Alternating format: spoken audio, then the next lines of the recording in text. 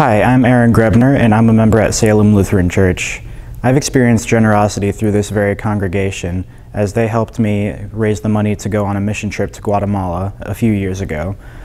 The trip changed my life and it changed the life of all the people that I help.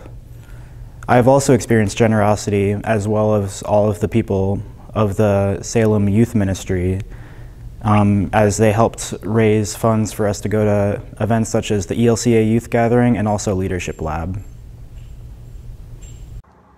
Salem family, growing people in Christ to love and serve. That is our mission, our motto, so to speak. Although I have not seen them in person, one thing I know for sure is the kids at Salem have been growing these past few months.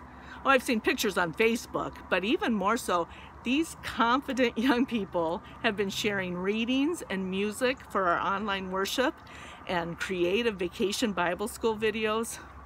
Oh, no doubt, due to the current circumstances, our young people have had to grow in patience, responsibility, dealing with disappointment, learning to adapt, and most importantly, in their faith. We've all had to grow in these aspects.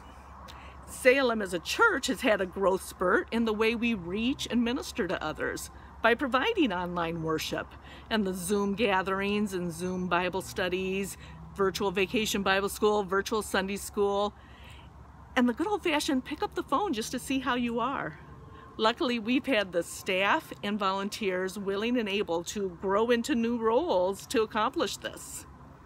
As we anticipate being able to gather again, I cannot wait to see the other ways we've grown. No, I don't mean older by evidence of gray hair or by our, waistbands from all that home cooking. I mean by how, what we have discovered we value the most at Salem for most of us, that is worshiping and working side by side as the communion of saints and communion at the Lord's table. I also cannot wait to see how we grow into the new space as we return. Yes, initially that larger open space is going to help us social distance, but it won't be long before we hear friendly hellos being shared from the second floor clear down to people in the atrium and it will be easy to see Salem in action. You'll be able to see where to take your canned goods and pick up your pen pal letter and support fair trade and you know sign up for whatever.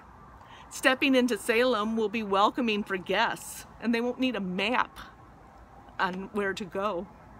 The parents of young kids are really going to appreciate the preschool and nursery wing. The classrooms and the, the conference rooms, they're spacious and soon they're going to be buzzing with Bible studies. But I cannot wait until we have to squeeze in some other seats. And although our Christmas Sunday School program will be virtual this year, I look forward to filling that larger chancel floor with angels, room for their wings to spread out, and shepherds, donkeys, and sheep all singing Go Tell It on the Mountain in full voice. I look forward to another growth spurt as we live out our mission to love and serve. As Peter concluded in his letter to the church, so do I, from 2 Peter 3:18. But grow in the grace and knowledge of our Lord and Savior Jesus Christ. To him be glory both now and forever. Amen.